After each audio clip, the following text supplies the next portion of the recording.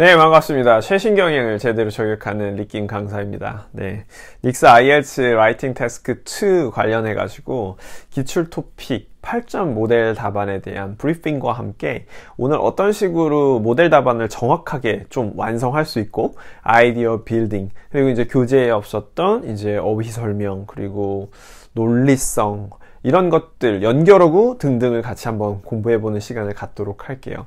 그래서 저랑 같이 이제 이 토픽들을 살짝 언급을 하고 어, 짧고 굵은 영상이 될 거니까요. 여러분 집중을 조금만 더 해주시면 좋을 것 같습니다.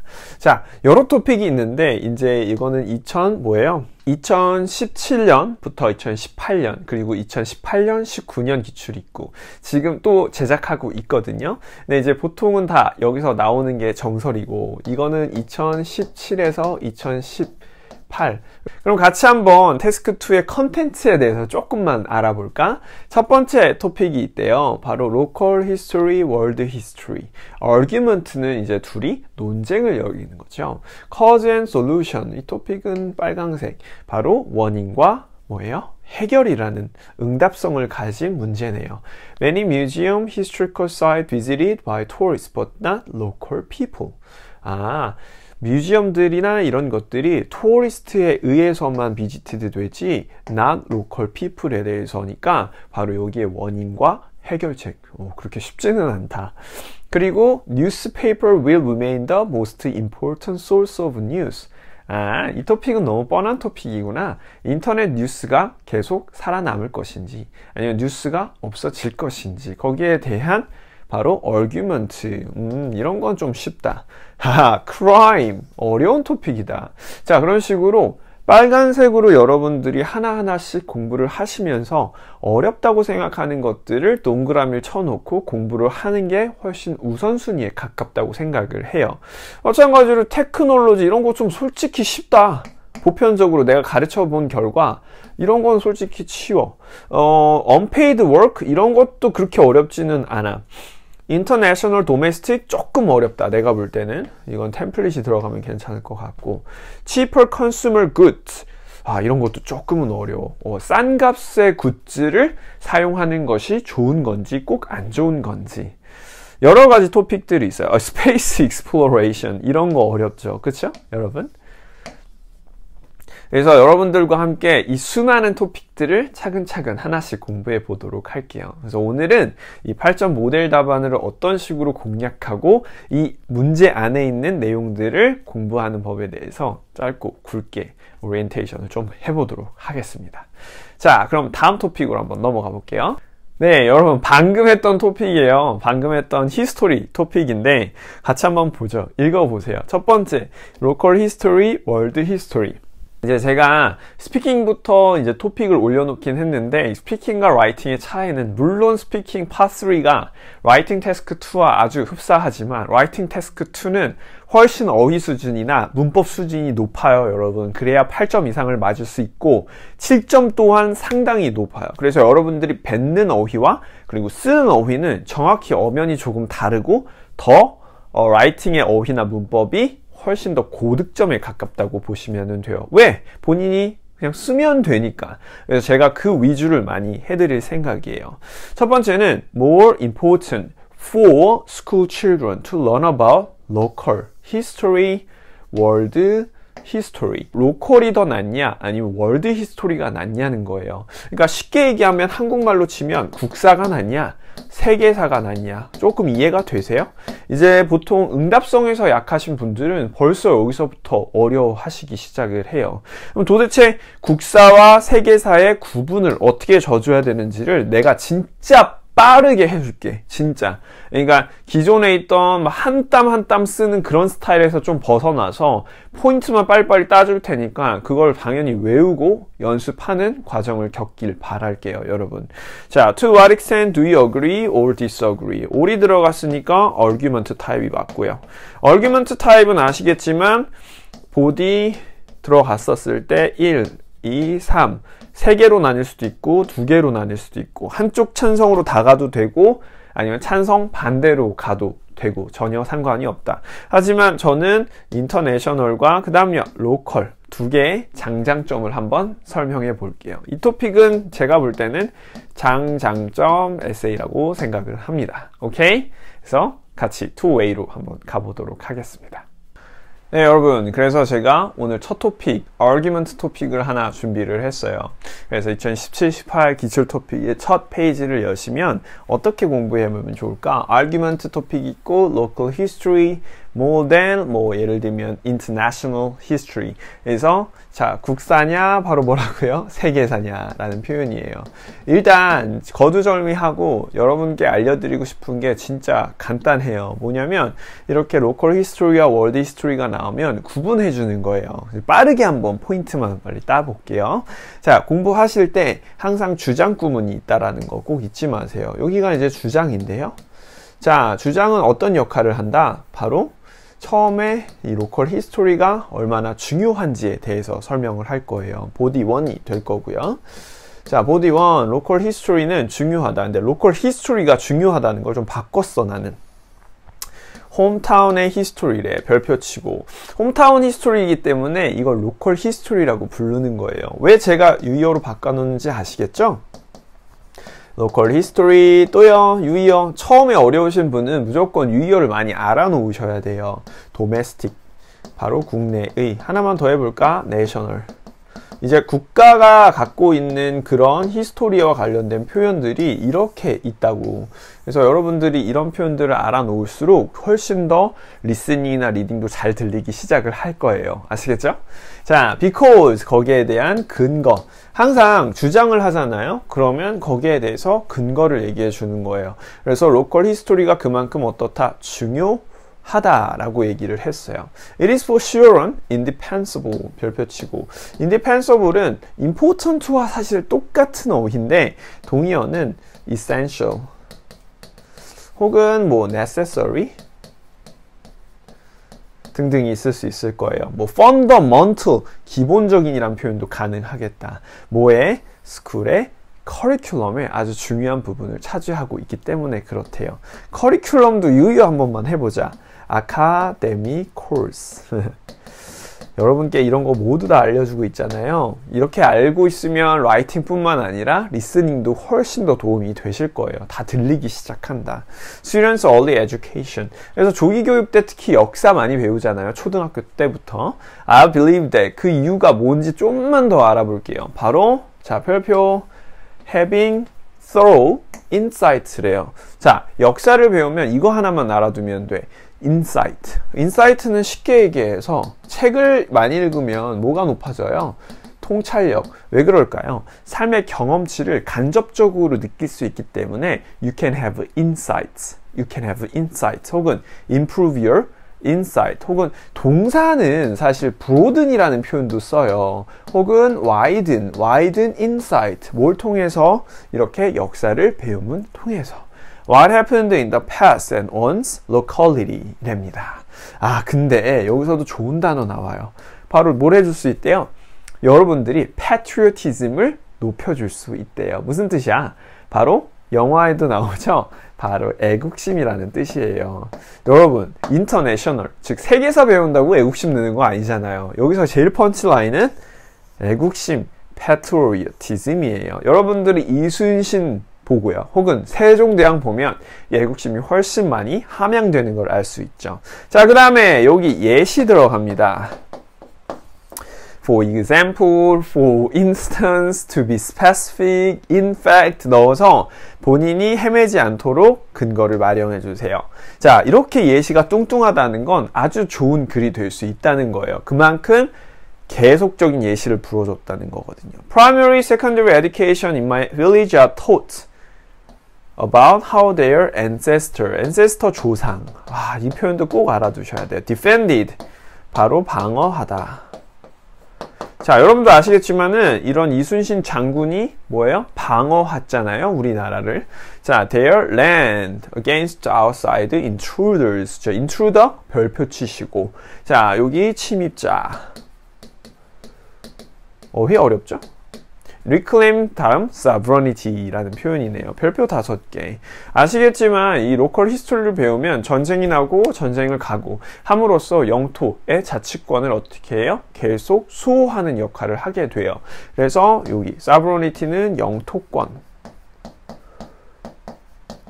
혹은 자치권이란 뜻을 갖고 있고요. reclaimed는 주장하다 혹은 회복하다 다시 주장해서 자기의 영토권을 회복한다고 보시면 돼요. 진짜 어려운 어휘니까 나는 7 이상을 따고 싶다면 이 표현을 반드시 꼭 써줘.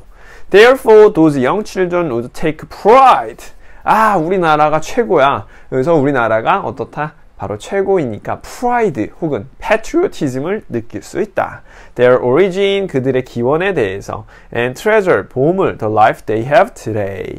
와, 트레저나 아니면 오리진에 대해서 그만큼 자부심을 느낄 수 있대요. 별표.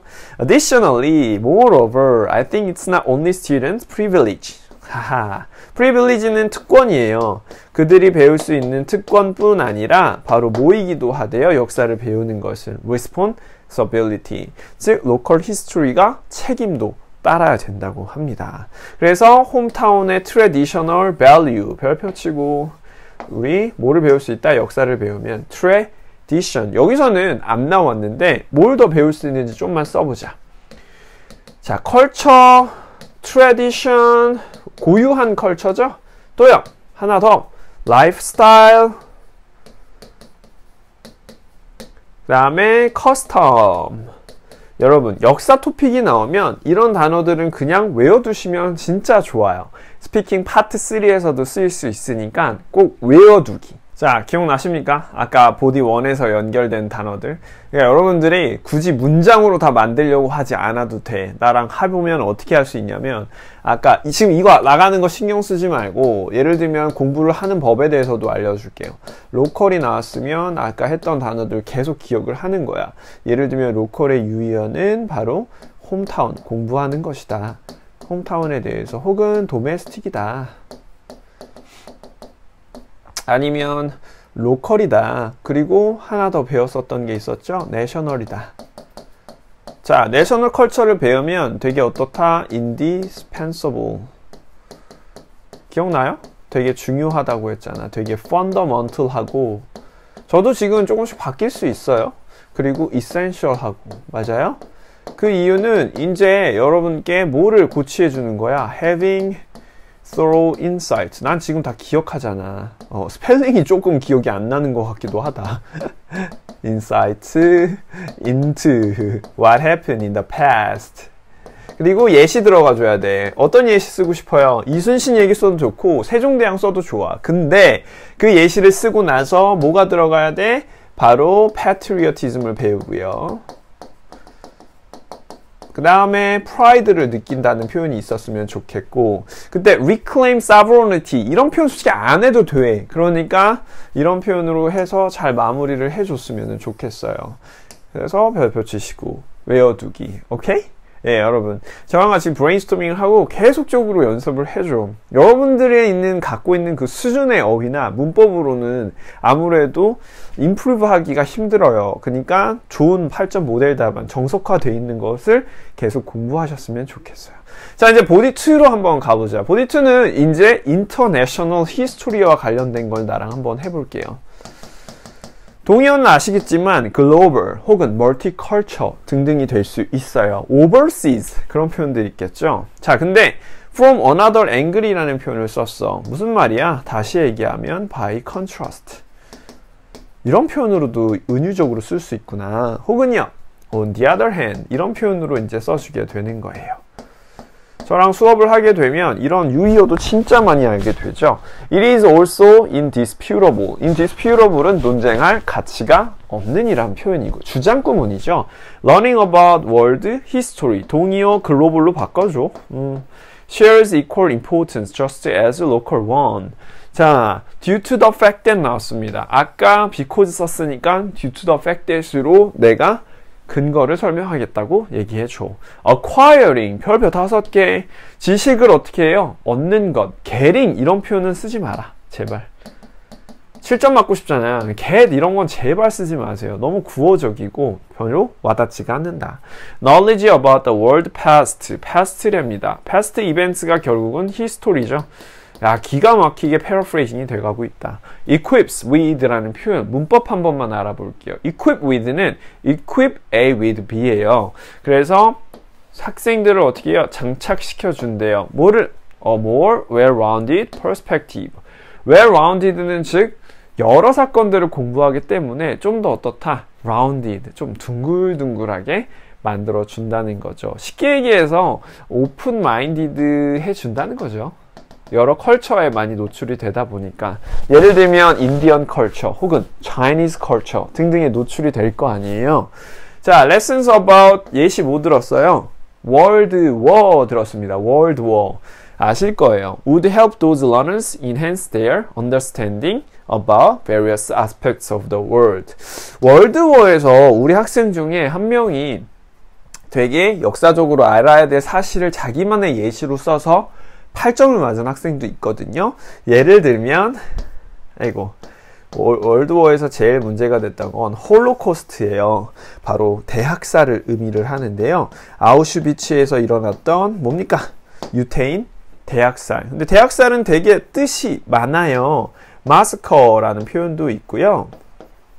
이것도 대학살이에요. 어, 최근에 피카소가 이제 작품이 와가지고 저도 전시회를 갔는데 피카소 작품 중에 한국 전쟁을 묘사한 마사커라는 표현도 있었고요. 대학살이고 또 제노사이드라는 표현도 대학살이에요. 여러분들이 이제 이런 표현들을 알기 시작을 하면은 훨씬 점수가 높아질 거야. 내가 쓰진 않았지만 그래서 이런 걸 쓰고 유태인의 대학살이라든지 아니면 인종의 대학살 그럼 얼마나 되게 뭐예요? 이노센트한 빅팀들이 많이 죽어나갔어요. 그래서 그런 좀 예시들을 생각할 필요는 있는 것 같아 내 생각엔. 그래서 절대 일어나야 되지 않고 인종 간의 화합도 알 수 있게 되겠네요. 자, 그 다음 furthermore이 들어갔는데 사실 문단을 붙여도 되고 이렇게 띄워도 괜찮아요. Being told about the other country historical backgrounds would benefit young learners in their future career. 와, 아까는 역사를 배움으로써 좀 더 더 사회화되고 남들을 이해하게 되거나 이런 sympathy, empathy, 동정심을 얻었다면 이번에는 세계사를 배우면 career, 본인의 employment opportunity에도 크게 도움이 될 수 있대요. 무슨 말이냐? could 어떻게 할 수 있대요? accumulate, 지식을 축적할 수 있대요. knowledge of a variety of fields, 다양한 필드에 네, 축적할 수 있대요. 세계사를 공부하면 at an early age would possess, 소유하다 라는 아주 서면적 표현이죠. 골든 셀링 포인트. 골든 셀링 포인트는 본인이 갖고 있는 특 장점을 의미한다고 볼 수 있어요. 팔 수 있는 자기의 특기. special skill이라고 보면 되겠죠. To work foreign and multicultural enterprises. 크게 나아가서 세계사를 공부하면 이제 해외에 나가서도 일을 할 수가 있겠네요. 혹은 세계사를 공부하면 여러 측면이 있을 거야, 사실. English에도 도움이 많이 되겠죠, 아무래도. 영문으로 보게 된다면요. 그럼 이게 다시 직업적 혜택으로도 갈 수 있을 거예요. 여러분들이 이제 세계사를 배우면 장점들이 많은데 사실 특장점은 아시겠지만 영어 혹은 open-minded 그리고 우리가 알 수 있는 것들은 이런 이해심 이런 것들이 될 수 있을 것 같아요. 저랑 같이 아주 간단하게 이제 태스크 2에 관련해서 좋은 어휘하고 이제 문법들을 다 배워보았어요. 근데 이제 이게 스피킹하고는 조금 또 달라서 어렵기도 하실 거예요. 근데 라이팅은 원래 어려운 것이 맞다. 어, 렵게 써주는 것이 맞고 스피킹은 그 고유한 바로 뭐예요? 구어체를 쓰는 것이고 이것은 네, 문어체를 쓰는 것이기 때문에 그렇습니다. 다들 여러분 저의 기출 토픽 가지고 공부 열심히 해주시고 저도 계속 영상 녹화하면서 도움이 될 수 있도록 하겠습니다. 예, 강의도 빨리 더 만들어 가지고 여러분들이 구매할 수 있도록 해드리겠습니다. 이상이었습니다.